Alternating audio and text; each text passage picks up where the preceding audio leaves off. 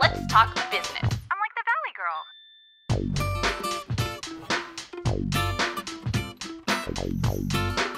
Let's talk about my box. Have you ever thought of stripping your cable subscription and going totally nude? Like non denominational screen wise?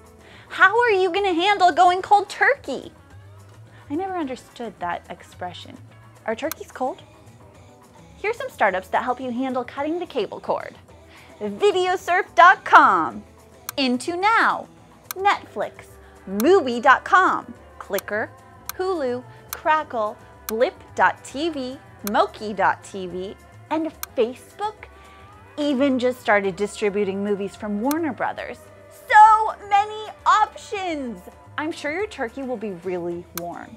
Speaking of Warner Brothers, Warner Brothers, Sony, Universal, and 20th Century Fox will unveil a premium VOD service called Home Premiere, which will stream like brand spanking new feature films for $30. What does VOD stand for?